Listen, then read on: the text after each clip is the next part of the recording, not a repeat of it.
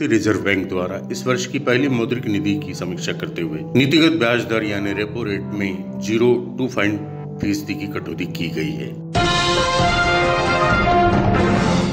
सबसे बड़ी बात यह है कि बैंक द्वारा डेढ़ वर्षों में पहली बार रेपो रेट घटाया गया है और इससे ऑटो लोन, होम लोन सहित अन्य कैटेगरी का भी लोन सस्ता हो जाएगा। इस फैसले के बाद अगर बैंकों द्वारा होम लोन की दरों में इतनी ही कटौती की गई तो 20 साल वाले 40 लाख रुपए तक के होम लोन पर छह रूपए हर महीने बचेंगे। और इसके साथ ही ईएमआई घटने की संभावना भी बढ़ गई है। यदि कमर्शियल बैंक आरबीआई की पूरी ज़ीरो टू फाइव प्रतिशत कटौती का फ़ायदा ग्राहकों तक पहुंचाते हैं तो 20 साल के लिए 40 लाख रुपए तक के लोन पर छह सौ साठ रूपए की बचत हो जाएगी। आरबीआई द्वारा मौद्रिक नीति की समीक्षा के वक्त किसानों पर भी मेहरबानी की गई किसानों को 1.6 लाख रुपए तक का कर्ज बिना किसी जमानत के देने का ऐलान किया गया। अभी तक यह सीमा एक लाख रुपए तक की। आइए हम इसको समझते हैं कि किस तरह से आरबीआई ने रेपो रेट घटाया। आरबीआई ने रेपो रेट 6.50 प्रतिशत से घटाकर 6.25 प्रतिशत कर दिया गया। अब इसमें सबसे बड़ी बात यह है कि यदि 20 लाख रूपए का लोन है तो उस पर 10 प्रतिशत ब्याज उन्नीस हज़ार तीन सौ रूपए होता है और 2.5 की कटौती से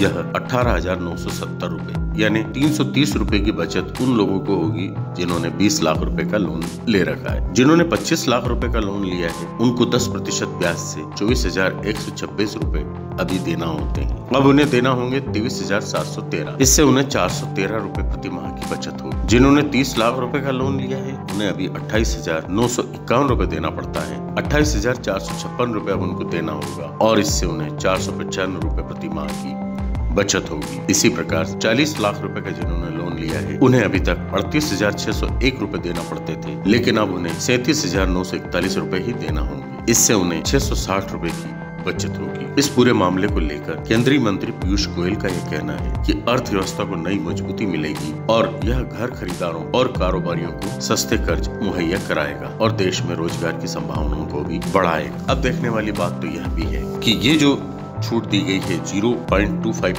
प्रतिशत की और इससे जो रेपो रेट घटा है 6.25 का। लेकिन इसके कारण अभी तत्काल रेट और जमा दरों में कटौती की संभावना नहीं दिख रही है। सबसे बड़ी बात यह है कि इस समय लोन की मांग जिस रफ्तार से बढ़ रही है, उस गति से बैंकों का डिपॉजिट नहीं बढ़ रहा है। इस कारण बैंकों की फंडिंग पर दबाव बढ़ रहा है। फ़िलहाल यह संभावना कम दिखती है कि जमा दरों में कटौती की गुंजाइश हो जाएगी, और यदि होगी भी तो सभी बैंक एक जैसी कटौती नहीं करेंगे। हालाँकि पिछले एक साल के दौरान सभी बैंकों ने जमा दरें बढ़ाई हैं, लेकिन निजी क्षेत्र के बैंकों को इस मामले में ज़्यादा आक्रामक पाया गया वजह यह रही कि उन्हें लोन की तगड़ी मांग का सामना करना पड़ रहा है, चूँकि प्राइवेट बैंकों के सामने लोन का उठाव आगे और बढ़ने की संभावना है। लिहाजा वे जमा ब्याज दरें घटाने में जल्दबाजी नहीं दिखाएँगे।